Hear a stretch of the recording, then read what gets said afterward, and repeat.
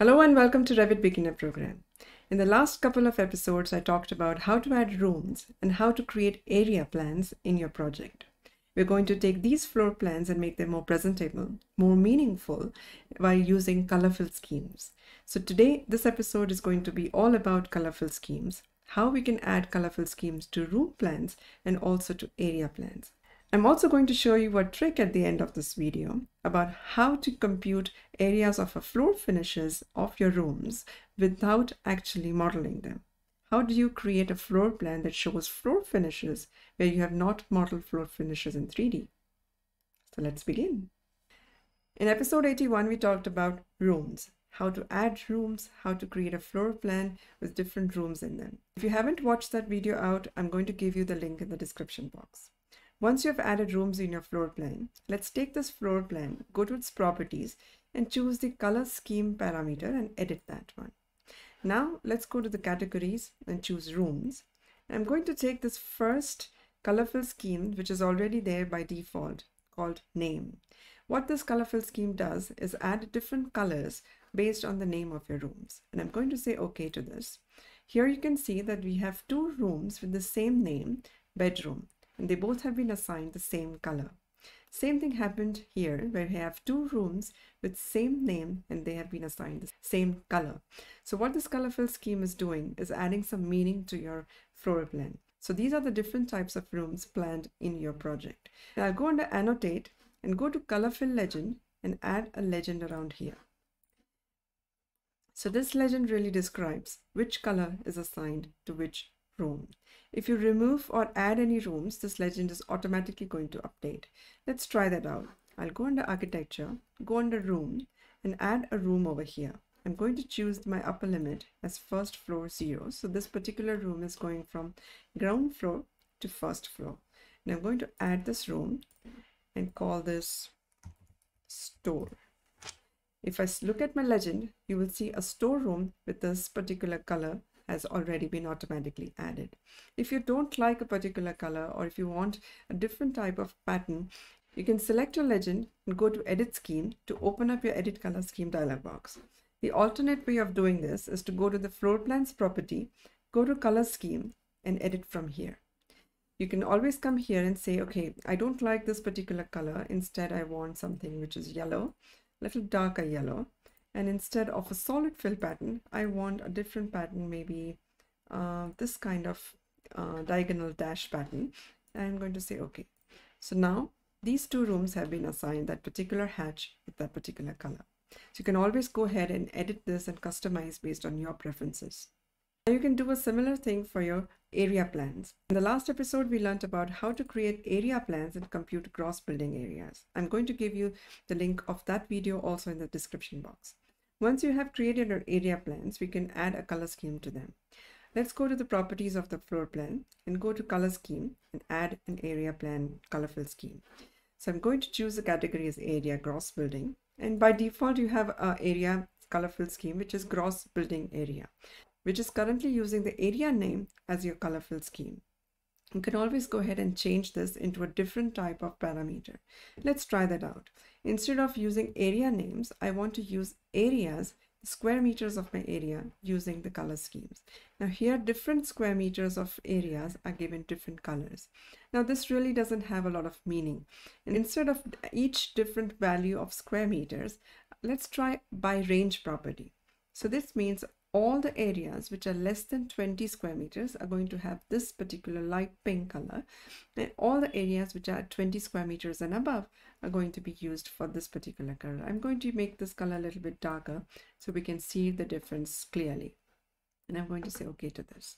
Now here you see the staircase is light pink whereas terraces and first floor area are being darker color. You can always go ahead and change and edit this particular range if you like. So let's go ahead color scheme and change this to be 30 square meters.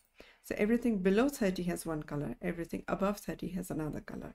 You can always choose a different color or different pattern as per your preference. I'm going to just leave it as it is. And also you can add more ranges if you have a larger floor plan with more ranges to be uh, shown. And I'm going to say okay to this. So now you can see that everything above 30 square meters is assigned this color and everything less than 30 square meters is assigned this color. So if you're working with a larger floor plan areas with a kind of a master planning for a larger project, you can really visibly see that, okay, these are the large spaces which needs to be considered or which are the small areas which needs to have a different kind of uh, parameters. So these color fill schemes can really be used to add a lot of meaning to your uh, areas. Talking about adding meaning to your floor plans, I have a small trick for you here. Let's go back to our ground floor plan where we added rooms and the color fill scheme based on the name of the rooms. Instead of using name of the rooms, what I like to do sometimes is to use floor finish property of my room. Let's consider this particular room. It has a couple of different properties here like base finish, ceiling finish, wall finish, floor finish. These properties to use as my color fill scheme and compute the total areas of each of my floor finish without actually modeling a floor finish in 3D. So let's see how that really works. So I'm going to take my one of my rooms and add a floor finish, let's say tiles. Okay. And let's go ahead on the toilets and take both of these toilets and add a floor finish called toilet tiles. Let's take the foyer as a floor finish of marble. And let's take these two bedrooms and add a floor finish called wooden parquet.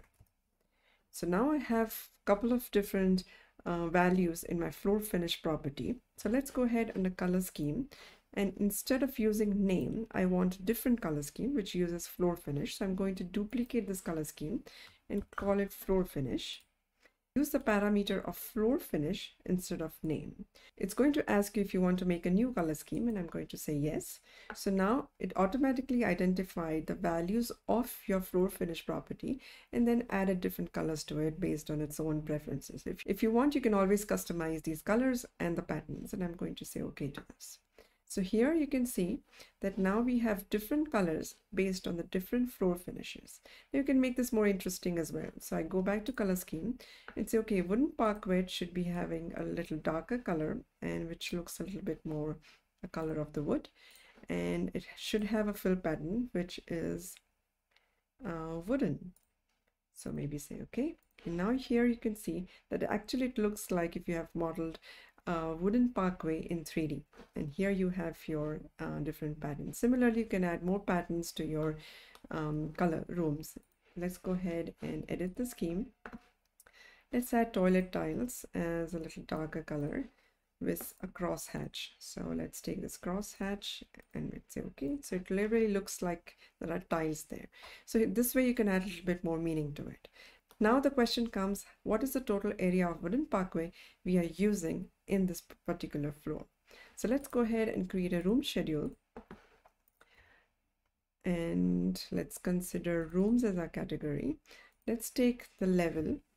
So we know which floor has how much uh, material. Let's take the name of the room. Let's take the finish and let's take the total area of the room.